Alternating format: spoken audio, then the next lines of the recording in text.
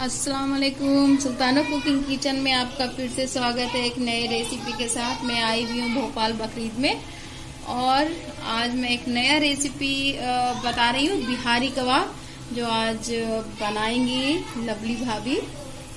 ये piece piece को ऐसे पतला पतला ऐसे इस तरह कट कर लिया जाएगा ऐसे और अब इसको मैरिनेशन करके छोड़ा जाएगा।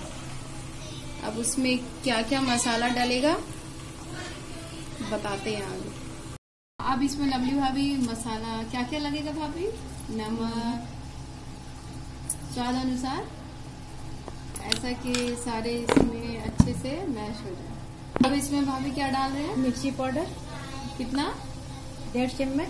अच्छा, डेढ़ चम्मच मिर्ची पाउडर डाल रही है। हाँ।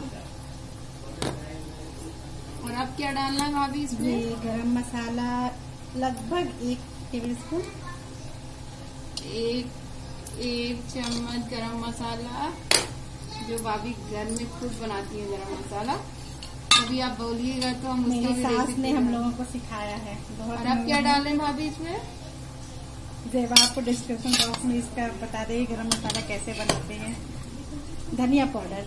धनिया पाउडर धनिया पाउडर डाला एक डेढ़ चम्मच डाल लिया और अच्छे से अदरक लहसुन का पेस्ट लगभग दो ढाई चम्मच। अदरक लहसुन का पेस्ट ढाई क्योंकि इस ये गोश्त को गलाने का काम करता है। चलिए अदरक लहसुन का पेस्ट। अब इसको अच्छे से मैश कर रही भाभी अभी। मैंने इसमें तेल नहीं मिलाया सरसों का। अच्छे से मसाला भी मिक्स कर लेंगे। अगर आपको मसाला कम लगे तो आप इसमें और अच्छे से मसाला डाल सकते हैं। मसाला कुछ मसाला। चलो हम बस मसाला थोड़ा कम लग रहा है तो भाभी इसमें क्या डालना? धनिया पाउडर दो चम्मच के करीब। धनिया पाउडर भाभी डाल रही है इसमें दो चम्मच। और क्या डालना भाभी? ये इसमें गरम मसाला पाउडर। गरम मसाला कितना डालना एक चम्मच। एक चम्मच गरम मसाला। जीरा पाउडर। ये जीरा पाउडर जीरा पाउडर कितना डालना दो चम्मच करेंगे देखिए दो चम्मच जीरा पाउडर। इसको भाभी अच्छे से मैश कर रही है। फिर इसको कितना देर छोड़ना है? कम से कम दो ढाई घंटे। और इसमें क्या क्या डाल सकते हैं? सरसों का तेल आप इसमें पपीता पीस कर कर एक आता है खसखस वो डाल सकती हैं। और इसको अगर आप ज़्यादा मज़ेदार बनाना चाहते हैं तो इसमें छुआरा को तली हुई प्याज को पीस करके डालिए और ज़्यादा मज़ेदार बन जाएगा। ये बिहारी कबाब के नाम से मशहूर है एक बार ज़रूर ट्राई कीजिएगा बहुत ही जायकेदार लगता है। देखिए भाभी बनाई है इसको हम तो कभी बनाए नहीं है। अब भाभी का ये रेसिपी हम भी ज़रूर ट्राई करेंगे घर पे। आप लोग भी ट्राई करके कमेंट ज़रूर कीजिएगा कैसा बना ये मैं इसमें अब सरसों का तेल डाल रही हूँ। सरसों का तेल डाल रही है। करीब तीन चम्मच करीब सरसों का तेल डालिए भाभी इसमें। ये पीसा हुआ पपीता है और खसखस है।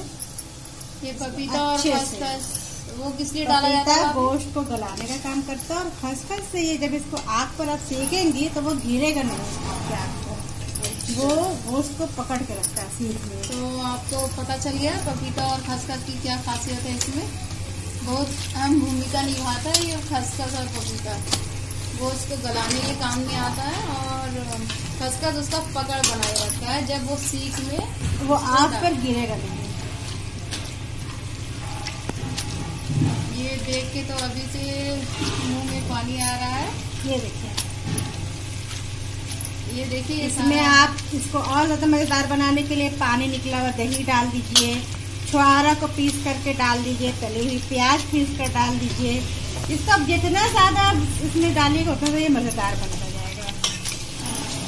चलिए, आप लोग भी ज़रूर ट्राई कीजिएगा। आप लोग कमेंट करके ज़रूर बताइएगा। पूरा मैंने इसको तैयार कर रखा है। आप एक बार ज़रूर इसको ट्राई कीजिएगा। और प्लीज़ हमारे चैनल को लाइक करें सब्सक्राइब करें और अपने दोस्तों रिश्तेदारों में तो शेयर करें। ताकि सभी बिहारी कबाब को खा करके संतोष हो। अल्लाह हाफिज।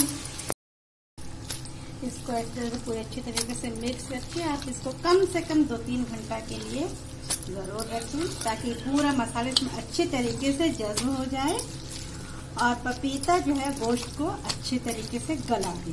भाभी का अब ये मैरिनेशन ढाई तीन घंटे के लिए इस तरह ही रख देंगी भाभी ढक करके और दो तीन घंटे के बाद अब इसको आगे का क्या इसका प्रोसेस है, वो भाभी बताएँगी। तब तक के लिए हम छोटा सा ब्रेक लेते हैं और तीन घंटे के बाद हम आपसे फिर दोबारा मिलते हैं। तीन घंटा हो चुका है और ये कबाब के गोश्त का ही हाल है और अब भाभी इसे सीख में फंसा रही है सिकाई के लिए।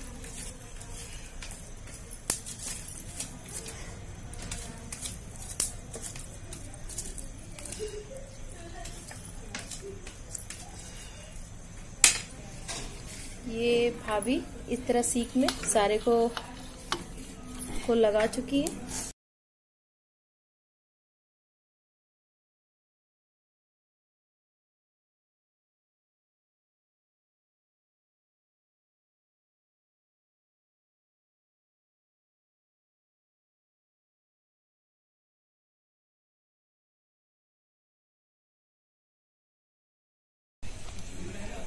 ये देखिए ये कबाब जो सीख में लगाई थी भाभी किस तरह आग में वो लाल हो रहा है।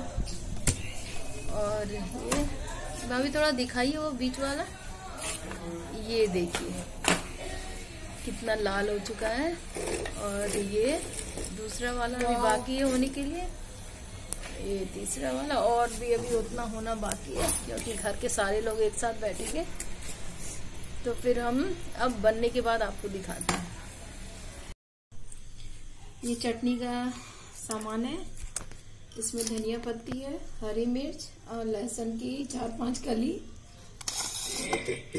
और ये पुदीना की पत्ती। और ये टमाटर। अब इसको ग्राइंडर में डाल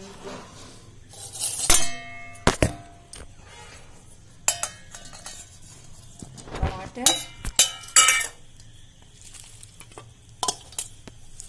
ये गए धनिया पत्ती, हरी मिर्च, लहसुन और ये पुदीने की पत्ती।